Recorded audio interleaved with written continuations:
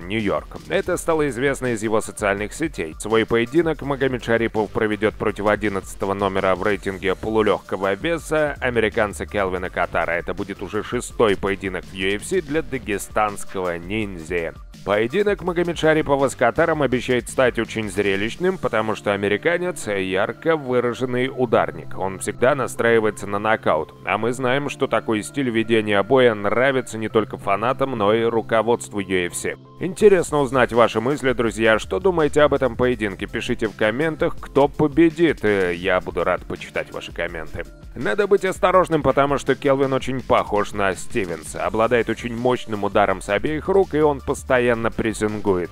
И еще важный момент – Катар быстрее Стивенс, это может создать дополнительные сложности. В общем и целом, этот матч – хорошая проверка для Магомед Шарипова. Но ему надо не просто победить Келвина, а в идеале сделать это досрочно. Или еще один вариант – показать доминирование на протяжении всего поединка. Если все сложится хорошо, то в следующем поединке Магомед Шарипову могут дать кого-то из топ-3. Это может быть Альда, Артега или Эдгар.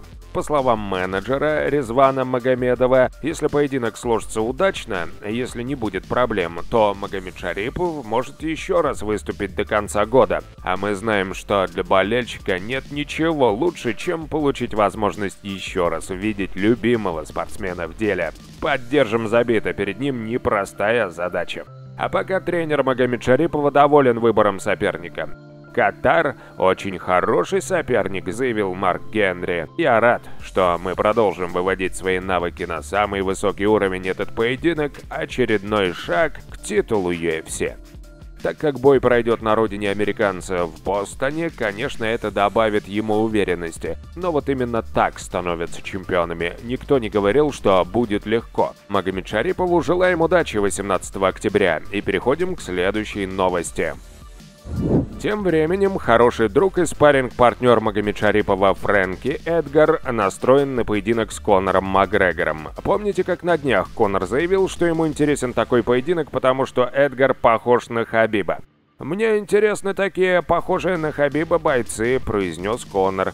Еще Фрэнки всегда очень уважителен, он говорил, что хотел бы внукам рассказать о поединке с Макгрегором. Как только я это услышал, я сразу позвонил президенту Уайту и сказал сделать этот матч. И не важно, что он потерпел поражение Максу, поражение и победы не имеют значения, важны лишь звезды, заявил в своем интервью Коннор. Но пока что Макгрегор весь в делах, у него что ни день, то новость. Плюс ко всему он неплохо крутится сейчас по делам своего бизнеса. Пока рано говорить о каком-то конкретном поединке, но мысли свои он обозначил. Так, на всякий случай. Давайте вернемся к Фрэнки Эдгару. В интервью он заявил, что Конор хороший вариант, чтобы провести яркий матч. Знаете, я готов подраться с Макгрегором. Наш поединок уже давно должен был состояться. Да, я собираюсь спуститься в весе, но для поединка с тобой подойдет любая категория. В любое время, в любом весе. Ты знаешь, что я не откажусь. Вот с такими словами Эдгар обратился к Конору в Твиттере. Как думаете, друзья, UFC организует поединок Фрэнки Эдгара с Конором Макгрегором? В завершение выпуска узнаем о Джастине Геджи. Он стал последним человеком, который раскритиковал Макгрегора за инцидент в дублинском пабе. Джастин хочет поквитаться с Макгрегором за то, что он ударил 50-летнего мужчину. В интервью для TMZ он заявил, «Конечно, я хочу поквитаться. Я видел, как он ударил того мужика. Хочу ли я ответить ему тем же? О да, я хочу размазать Конора. Я потерял к нему уважение. У Конора нет уважения, морали. Как хотите это называйте, он упал в моих глазах.